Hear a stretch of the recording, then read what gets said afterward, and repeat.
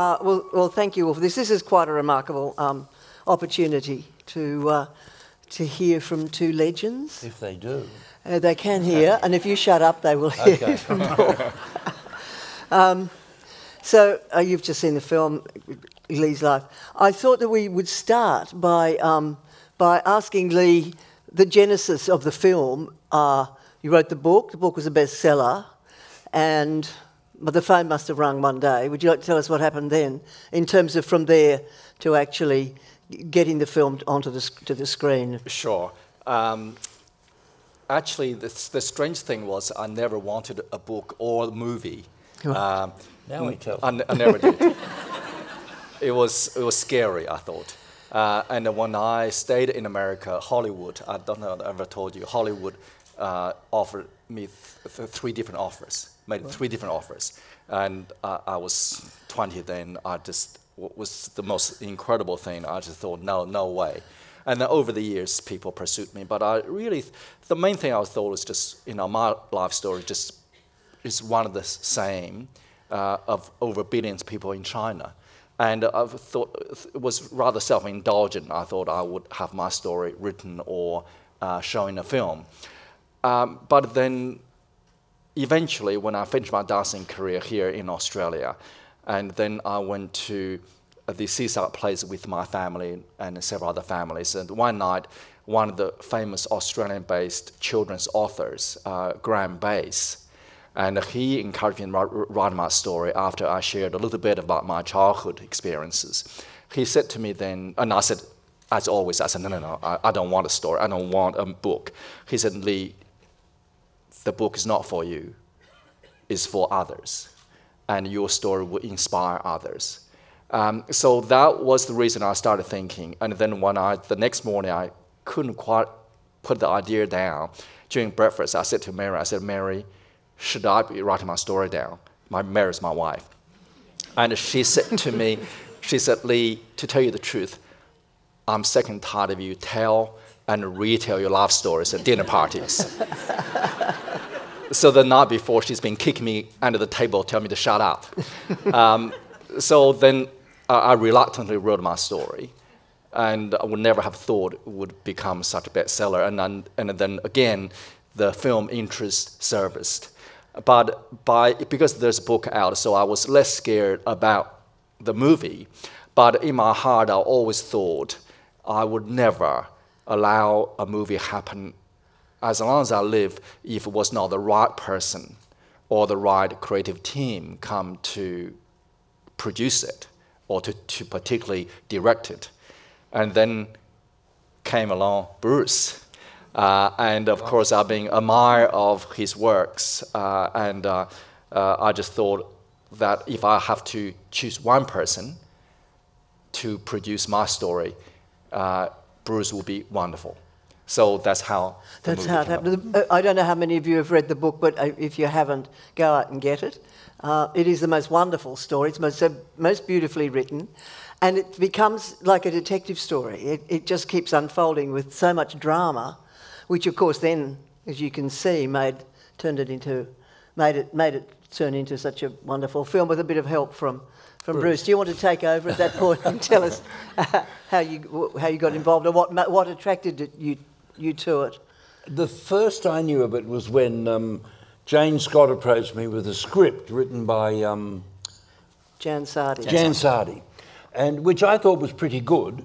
Um, and then uh, I said, let me, let me meet the author uh, and read his book.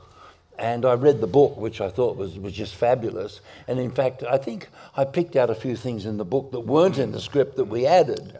And then Li told me some, I think I stayed with you for a while in Melbourne. I stayed down You there did, a few days. And Li told me more stories. Um, that a couple of which we did put in the book. Remember, there was that wonderful scene I love where the officials go to visit her and she rounds on them and says, This is all your fault, not my fault. That was a story that you told me, and I thought, what a wonderful scene that would make.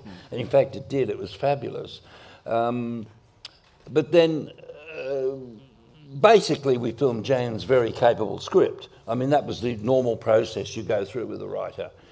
And um, we put it all together. We got Did we ever get permission to film in China? I'm not sure we did. we But went I think there. before, yeah. be- before we get to there, I think it's, it's, a, it's an enormously ambitious story for Australians to take on, given that virtually doesn't ha- nothing happens in Australia at all. Uh, made- made me quite quail just thinking about it. Um, but also, Li, I think at that time you were a stockbroker, so you were you were able to help with the financing. Did you Yes. have something quite a lot to do with it was that? it was very strange because uh, after the book was published, uh, then I um, was invited to speak in a lot of conferences and uh, corporate events, uh, schools and all that, and uh, um, and I was all of a sudden become a highly sought after speaker, and then over those events, I met um, people with capacity to invest. Let's call them wealthy people. and then uh, Wealthy, the- crazy the- people. Over the years, they said, "Oh, this will make a fantastic movie. I want to invest. If there's a movie project, could you let me know?" So I subconsciously I wrote, kept people's names into a list. I thought, oh well, if if uh, if there if there's a chance there, and and then when uh, Jan Jan Sardi, who's the one approached me first, the uh, the screenplay writer, and uh, I loved um, uh, the the film um, Shine that he wrote, and then uh, so I started talking to Jane Scott, the producer, and at that time, at the beginning, there were a lot of interest to invest from the German Germans, from Hollywood, and from various uh, government, uh, you know, sort of uh, film uh, you know, agencies. And then somehow, one by one, uh, they start falling away. But before they fall, uh, uh, fall away, I said to Jane, just a throwaway line, uh, you know, one day I said, Jane, look, there are a group, small group of um, potential investors who have expressed interest over the years. If you ever need help, um, I'm certainly willing to, uh, you know, share these names with you. You can then have a conversation with them. And, uh, and she said, oh, yeah, okay. She never really thought anything about it because at that- time there was a lot of interest out there. And when those interests thinned, she came back to me and said, Li, did, didn't you tell me you got some people interested? I said, yes. And she said, how much do you think you, you might be able to contribute? I said, maybe about four or five million dollars. I just threw a rough number.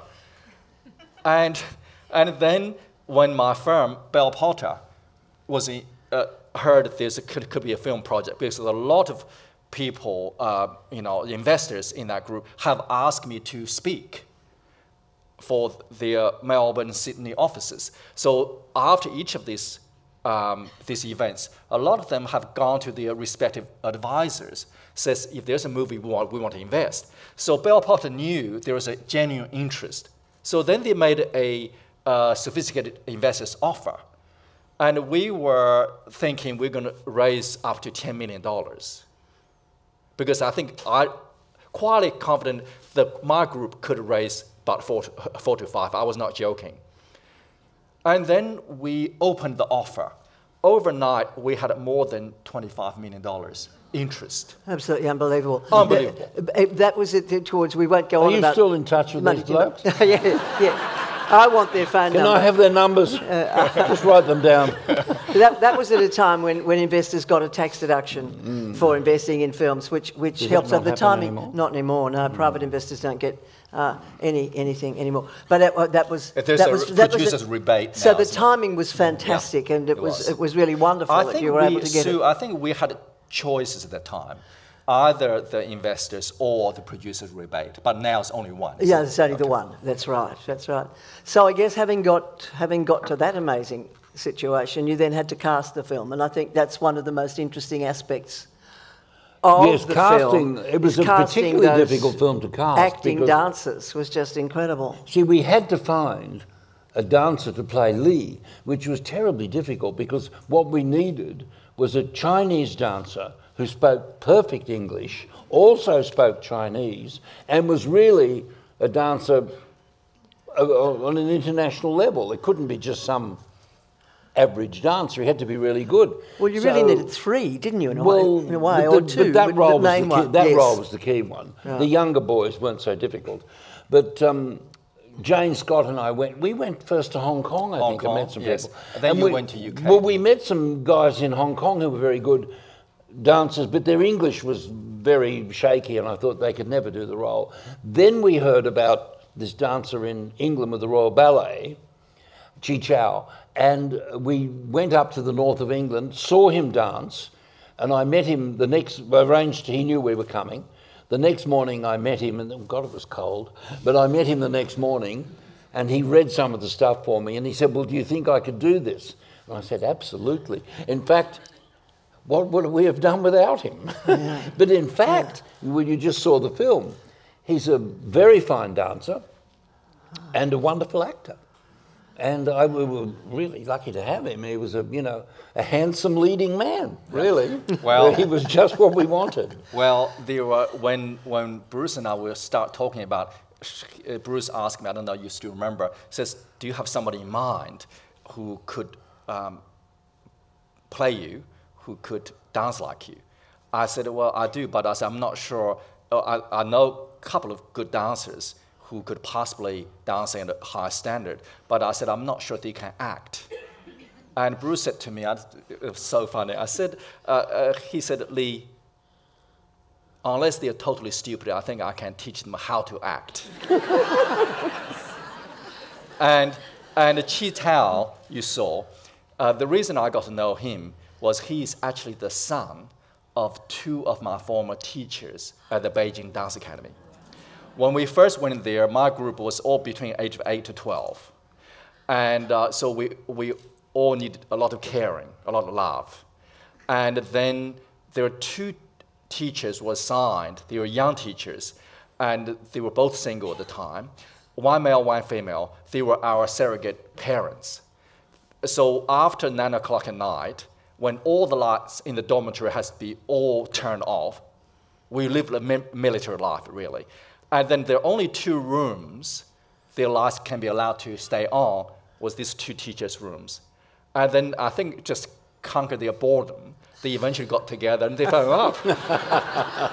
and then Chi was their child. So when I was first allowed to go back to China, everybody said, oh, there's, uh, we call teachers Hao and teacher Shi, says they got a talented son and uh, started ballet. And I picked in the window one day, and then they asked me to teach a master class. And he was in my class. I taught master class, and I thought he was very talented. So I've been interested through his career progress. And he won gold medals and all that. So he was a wonderful dancer. We certainly And he must off, have gone he? to England when he was fairly young. He was. Yeah, because his English was, was, was really perfect. And Yeah. he went there, uh, similar age as me, was around 18 uh, when I left China. So we had, so when he said to me, when he read my book before the movie, um, uh, you know, offer came along, he felt there was certain affinity, uh, you know, sort of uh, similar experiences, particularly when I described my sickness, homesickness, and you know, felt going to a foreign country and all that. He felt exactly the same way. Yeah, so he, under, he understood. So uh, uh, I think, well, the next thing I suppose was, was staging the dancing sequences because they are, I think, I just love them in the film. I think they just, you just kind of get lost in them. Yes, that was Um, true. Well, we had Graeme Murphy, the famous Australian choreographer, and I don't know how we got Graeme. Did you recommend him or somebody? I think he was very well known. I, I gave uh, Yeah. Jane Scott a few names, And he was and one uh, of he them. was one of them. Right. Anyway, he came on board quite early and he had a lot to do because he had to choreograph all the ballets, including the Chinese ballets. So when you had the Chinese dancers doing those uh, patriotic things, he had to do them as well.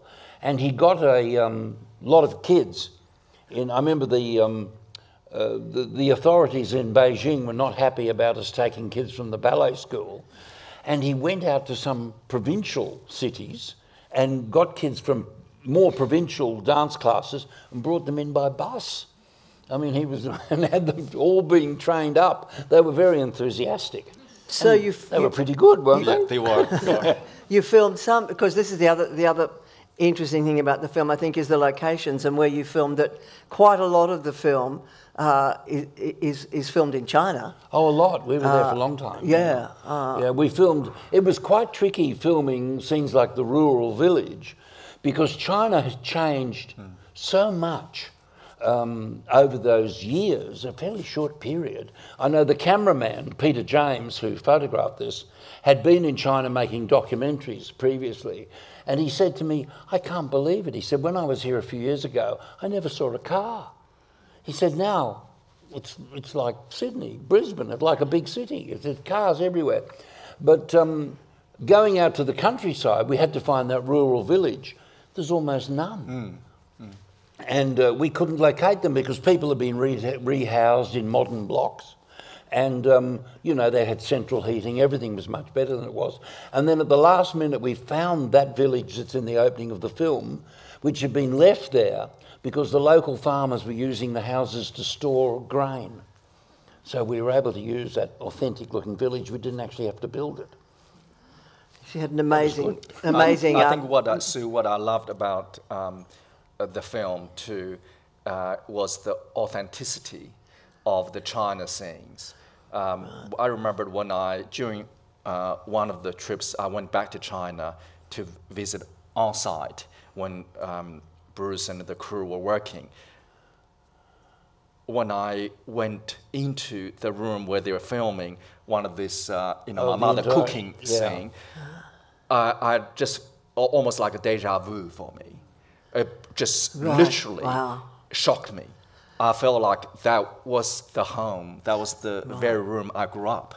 That's the very room we ate our food. It was pretty incredible, and I think you had a very good A team in China working. f- We for had a very good Chinese team and a very good an Australian Designer. production designer, Herbert mm. Pinter, working with the Chinese design, um, Chinese art, art department. Even the bikes and the mm. and the bicycles you use in the film was just all I don't know where you found them. They were just must be antique now. It was incredible. Yes, because uh, still, it was, it was a period film, Oh, it wasn't it? Because it was even then, yeah, being it was, 30 yeah. years, Yeah. 30 years before was when the events took And we place. had to get those. We had that wonderful little boy. Yeah. Oh, he playing was as a small child. He was a great kid. Not a Yes, I fan- believe he's now a ballet dancer. Oh, He is actually he? continued ballet. Yes, Ah. I heard that. Yeah. I'm, I'm waiting for him to audition for us. Oh, he was a lovely kid. Of course, he didn't speak a word of English, and I could only talk to him through an interpreter. But um, he had a great temperament and tremendous. A great Uh, presence, that kid, didn't he? Yeah, very He had a very good presence, and also in China too, you didn't have this thing that they have in Australia or America or England, where they say the children can only work for four hours and then they have to stop and have a rest. The children, they'd be there all day, and I said, "Are these kids all right? They all seem to be happy enough." So I said, "Well, we'll just keep going." You know? Yes, it, uh, quite wonderful because here they've got, 'em, you know, it's very strict. You get into now. real trouble. but probably their schoolwork went, went um, a bit awry for that amount of time. The, uh, the other thing is, is, of course, as I said earlier, none of it is set in Australia, and yet, uh, apart from the, from the Chinese, the, the, the locations in China, everything was filmed in Australia pretty well. It was. Uh, We only did um, a couple of days filming in Texas. Right. That was all. Everything else was shot in New South Wales. Right. Uh, For the American scenes. I probably shouldn't have told you that. I spoiled it now. you'll have to see the film But again. it, when, when, it, when it was shown in America, nobody picked up the fact that it wasn't shot there. Nobody. Ah. No. Not one critic ever said it's clearly not filmed in America. They all believed it. Uh, and of course, a lot of the roles were taken by Australians who um, pretty convincing. Uh, Oh, yes. Um, well, we had two American actors. Yes. Bruce Greenwood and Carl MacLachlan. Yeah. You have three, didn't you? There's another one. The, Oh, uh, and Amanda- Amanda Laurie's- Shaw. Uh, n- uh, also, Laurie's, fa- uh, Laurie's husband. Who was that? Um, can't remember his name. He's, uh, he's wear the te- a, a Texan hat, a, a cowboy hat. Wasn't that, wasn't that Carl MacLachlan? No, Carl is uh, Charles Foster. That's right. I And- haven't seen this film for a long time. But, um, but, but he Oh, worked don't mean- here. He worked here for, for a while. Then he gone back to America. You but he don't mean origi- Aden. You don't mean Aden Young. No. No, Aden wasn't in it. Ed, Yeah, Aden's in yeah, it. that's right. Aden Young that's is that, in it. Eddie Young. Oh, Eddie Young. That's you see, once the films are finished, I don't watch them again. So I Young. haven't seen it for years. I'm not sure if everybody knows, but when you're making a film, you see it in post production, you see it maybe 100 times. Oh, more. In putting it together 200 times. You've seen it by the time you've finished. By the time is, the film is finished, it's like an aversion therapy, really. You really don't want to see it again Yes. until maybe 20 years later. And But then it's kind of can. nutty to sort of uh. sit around thinking, what will I do with myself? I might watch one of my own films. You know what I mean? You don't do that, you know. Yes. And the other thing that, that's interesting to me is the structure of how you told the story. Uh, because you you you you kind of plunge into the middle of the story um, with Li arriving in America. Oh, and then tell it and in then you go backwards and Yes. forwards, and um, it, Yes. it, it kind of works. But That what was made you actually decide my do idea, that? remember, because originally it was told chronologically, and I said I think it would be more interesting to do it um, out of sequence and to flash back to the childhood, the, the adult, and so on and so forth, which I thought gave it a more, in a way, a more dramatic structure. I thought you did that to uh, entice the Western audience. I was thinking of that. I didn't Yes. want to start the film with people talking in Chinese with subtitles. I wanted to start it in English.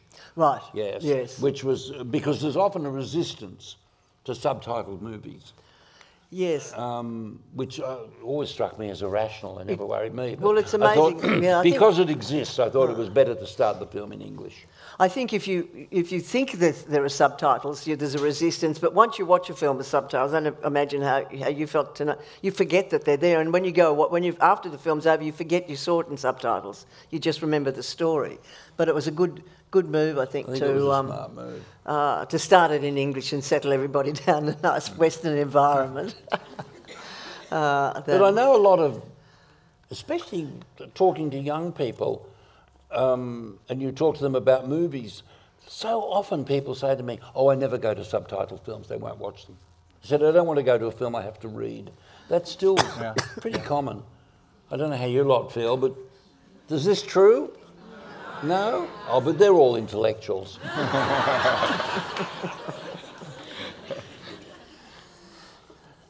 Yes, I, it's a, it's a, it, the book is the, the, the book is, uh, is is quite large. It's quite long, and there's a very you know um, it was it must have been quite a job to get to, to just I think you distilled the story down very well. To Well, Jan like two Sardi hours, did a good I job guess. with that, really. Yeah. Yeah. I, I worked with Jan for 12 months. Right.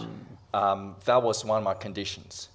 I just thought if the screenplay is right, because I don't want a movie that that is so uh, taking so far away from the truth. Yeah. So I want to have a movie that I can live with.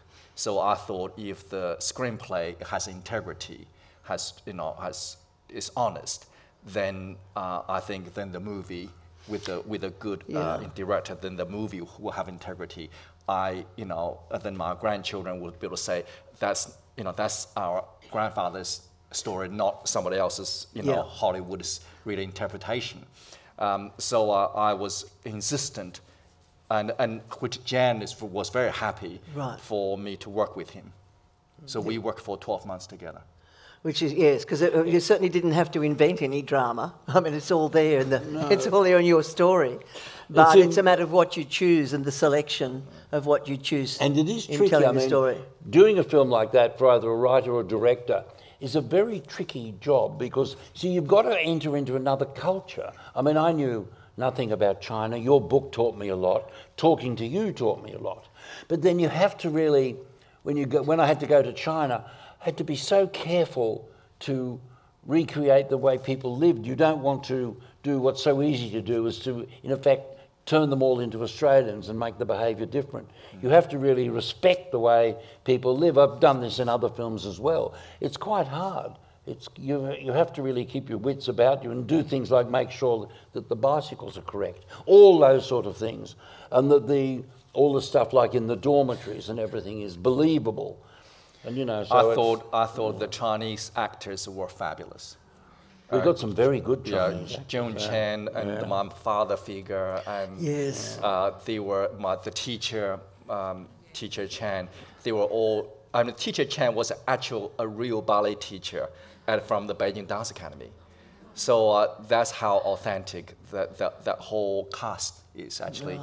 Um, and when my parents saw the film, uh, particularly the scene uh, where uh, the Chinese government officials came to accuse them when I defected, um, my mother sobbed Is that right? because it triggered a lot of memories back. Yes, it would have. Yes, yes. I Ja- met your parents. Yes. Yes, that was great. I think the one time that you did Hollywoodize it a bit was, was I'm sorry, was having the um, having ha- having Li not know that his parents were coming to uh, to the ballet. I thought that was true. That, that was partly true.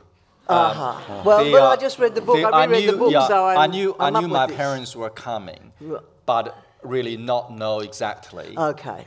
when they were coming because that whole trip And you were always secretly wondering if they'd get an exit visa, weren't Right, you? yeah. Yeah. But I just thought, wait, And I'd, I'd, so, uh, I thought so was that was you- whole you- that was whole planned by by my friends. also by Ben Stevens in particular. He wanted that to be a surprise. uh, visit. Okay, I just thought when I first saw the film that I was worried. I thought you would drop dead actually when you saw them. In the, Uh, the was- shock of trying to perform and, was- and know was- that they were there without any knowledge at all. But gave us a great scene. It did give you a great scene, but it I was so emotional. bothered me quite a lot. Yeah, I was so emotional uh, of that performance. Uh, I, it was the memory is still so vivid. I can imagine. I Uh, when I was writing that scene, even though many years have passed, but it was as though it was only happened yesterday. Yeah. So it was just you know one of it's one of those moments just imprint in your mind, Yeah. in your memory forever. Yeah, I'm sure. I'm sure. Why didn't you have any pants? Did it, why didn't you wear any pants? yes.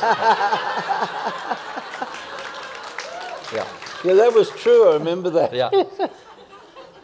Actually, uh, I, I was dancing the Nutcracker. Wasn't uh, of Spring. And uh, um, so I, I was the prince. I wore uh, the white tights. But even then, my father said, why didn't you wear any, tie, uh, any, any pants? Just in your underwear.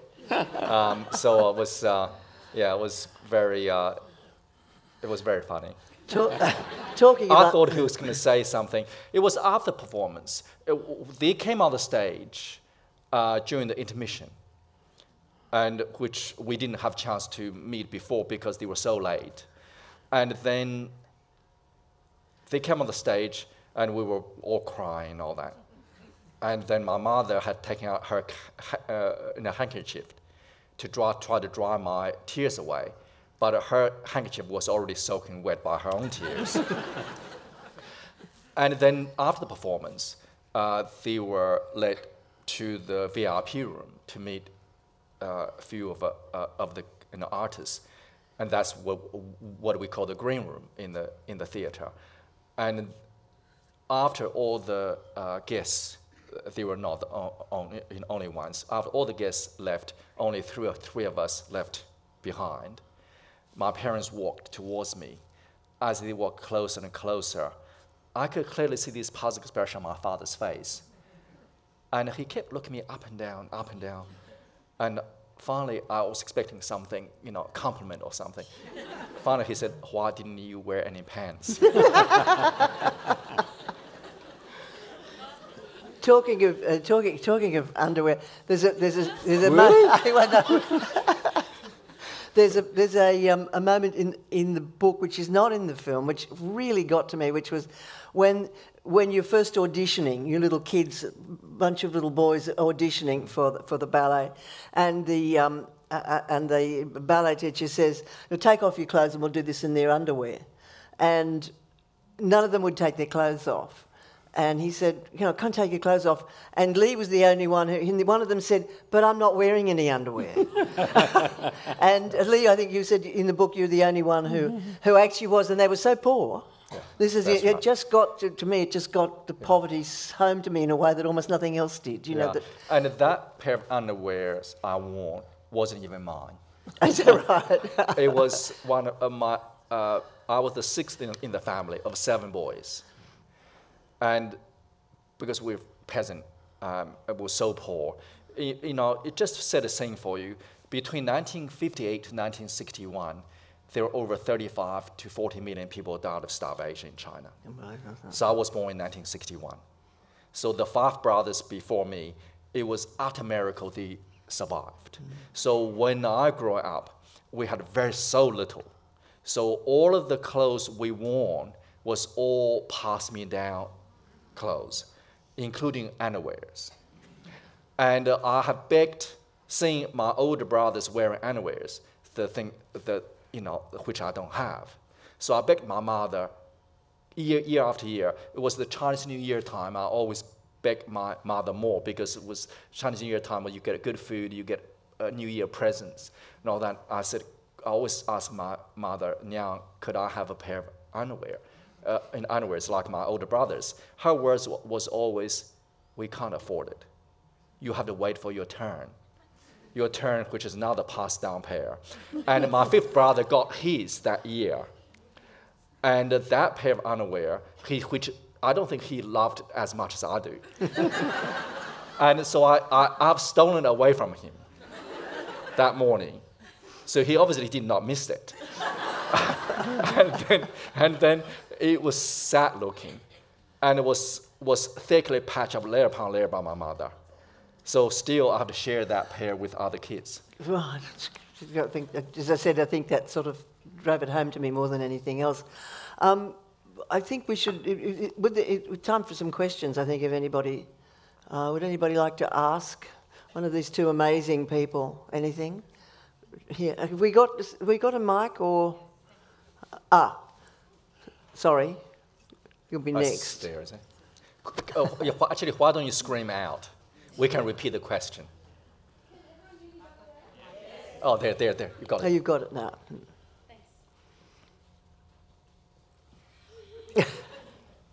It's a tough conversation to follow, to say anything. Well, put that near your mouth. Yeah. Is that better? Yes, yes. Pointed towards you, yeah.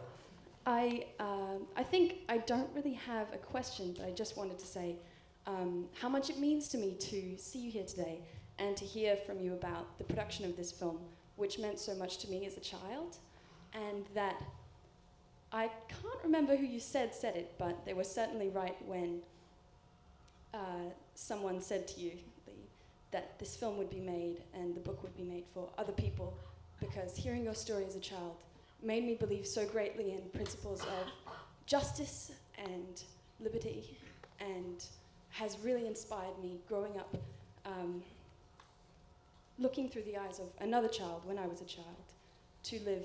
Uh, taking every opportunity that I can. Good on you. Well, Good on you, sweet yes. of her. While you, Uh, Thank you very much for sharing your story with us. Uh, I'm wondering, is there any chance there'll be a sequel?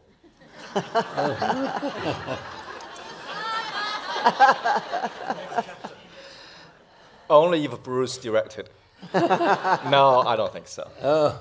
I think they have captured all my stories.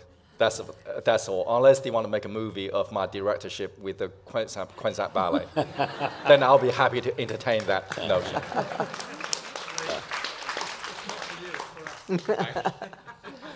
Is it? There's a man over Yes, there. sorry.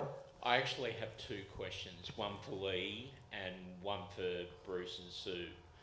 Li, when you initially went to America, like how full on was the culture shock? Because I can just imagine, just like I remember the first time I went uh, overseas, like to Thailand, and the culture shock was just immense. And for Bruce and Sue, if I can ask you what your favourite directors and favourite films are. Oh, that's a I hate that question. I Oh, think, let's that's leave, a let, I think we should let Li answer. Let Li come up. Okay. Um, it was as though you were walking on the moon for the first time. Um, even the first day we, the first morning we got there, um, we stayed, the two of us stayed with our director, and uh, he sliced some oranges and made some juice for us. I feel like criminal drinking it because realizing my parents, my brothers are still home starving, and they would have never tasted an orange before, let alone drinking a glass of juice from that. And you know, the first night we arrived, tasting Peking duck for the first time, um, and seeing the incredible, boundless food and prosperity,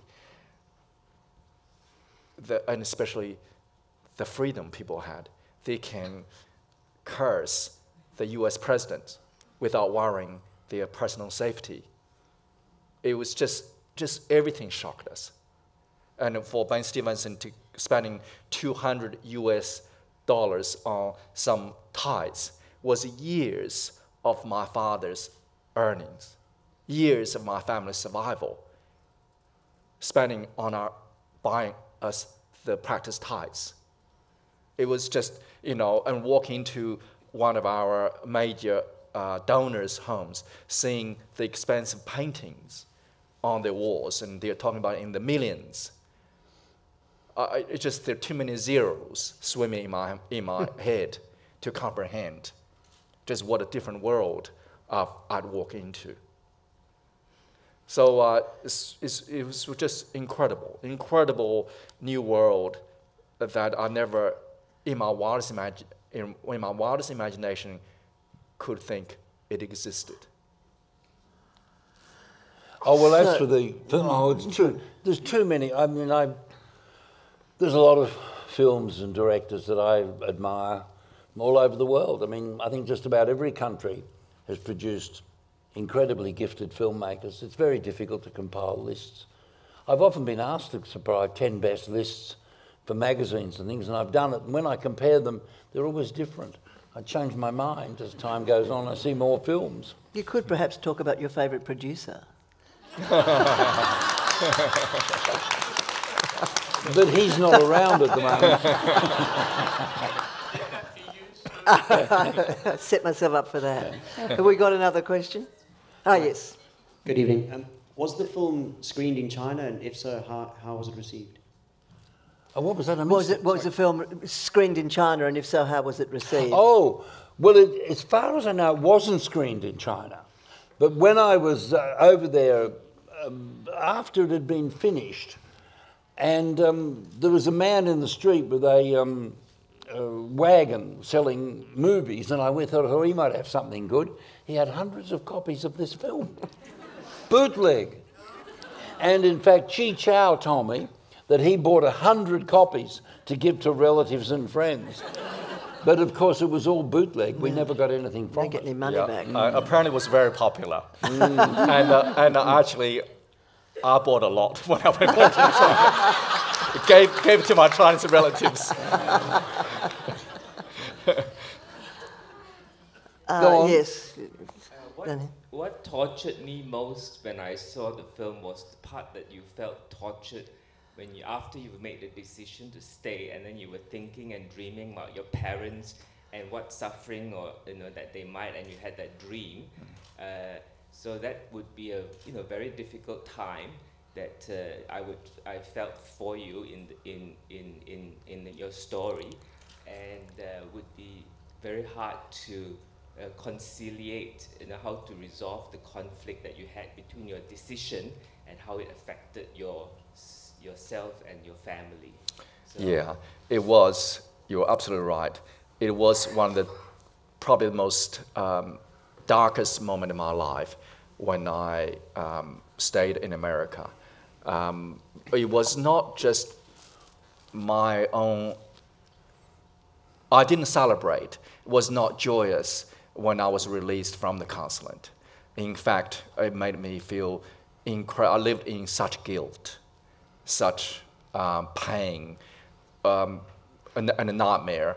Uh, you know, th- those kind of nightmare was portrayed in the film was it was true, uh, and I uh, often uh, feared that my whole family was in trouble because of my actions. And yet, throughout my life, my one wish, biggest wish in life, was to help help them. But yet, my defection could have caused more trouble in their lives because for years we couldn't even write letters to, to each other, so we were completely cut off from each other. I, until about eight, year, eight years later, I was dancing with the Houston Ballet in Washington, D.C. Um, and Barbara Bush, who was still on the board of the Houston Ballet then, invited my director and I to the White House for coffee. Because when I first went to uh, Houston, Barbara Bush was on the board of Houston Ballet, invited the two of us to their home to have lunch because uh, her husband was the first special um, you know, official was sent to China under Nixon. So through that initial meeting, and she uh, somehow took a special interest in me. So when, throughout my dancing career, she was very proud. And when I became a star, went to dance in Kennedy Center, she always made, made time to see me. And then during that meeting, she learned about my difficulties with China. She was shocked that I was still have not been allowed to go back to China. So on the opening night of the Swan Lake performance, I was dancing the Prince that night. The Bushes invited the Chinese ambassador and culture attaché to see me dance. It was that night the, the Bushes asked the Chinese guests if they could help me. And then subsequently, my parents got the permission to leave China. So, uh, but that was 80 years of separation, not knowing they're alive or dead. They did not know that I was alive or dead. So you can imagine just what an incredible time that was for, for them and for me. Yes. Um, Li, if you don't mind sharing, I just wondered, is your family all still in China?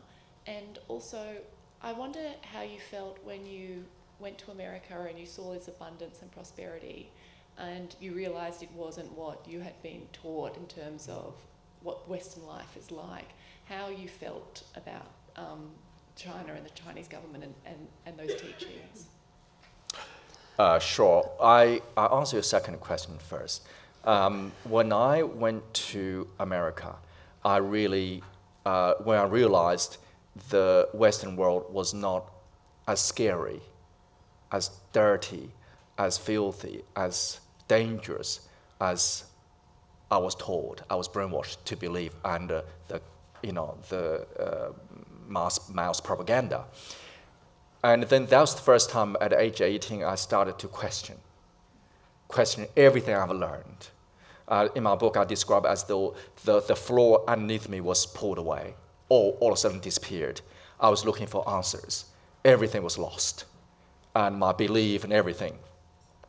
So uh, it, was, it was then I really you know, the, the one thing, I mean, obviously I fell in love with Elizabeth, and that, that helped me to make, make up my mind to stay in America. But it was the freedom. It was really the freedom the Western world enjoyed and give you the chance and possibility to achieve whatever you want in life. That's one thing that was not allowed under that strict control of the Chinese system. And what's the second question? Sorry. My parents, and my parents have passed away, uh, and my um, six uh, of uh, my, uh, uh, five of my six brothers still alive. My oldest brother passed away, so they are still all in China. But over the years, uh, we have sponsored three of my nieces from three different brothers to come to America, to Australia to study. So all three of them now settled in Melbourne. Um, and so uh, four of my brothers have since visited us here. And I, am hoping my fifth brother, uh, the other one, will come as well. But I'm just about to take in Queensland Ballet to perform in China next month, so I'll see my family again. and uh, and I'm taking a small group of supporters, our donors group, to visit my family. Um, so that's going to be very special. My family is very excited.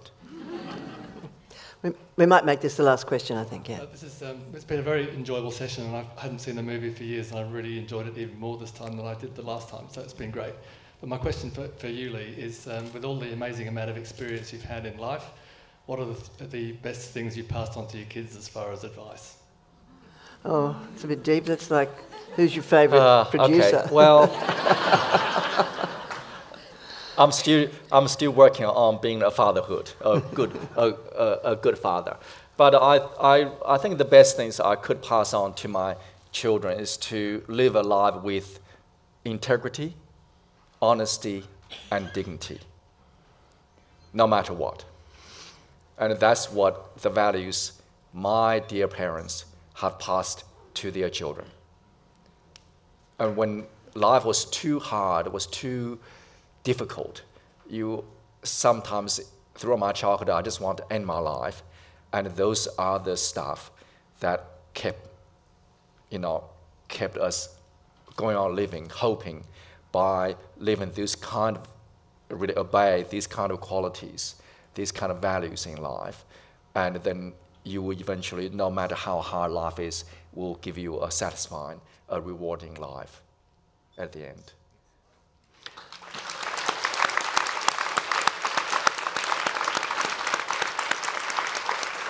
Well, I think we should thank uh, another round of applause for, to thank Bruce and Li for a pretty interesting conversation. ハハハハ!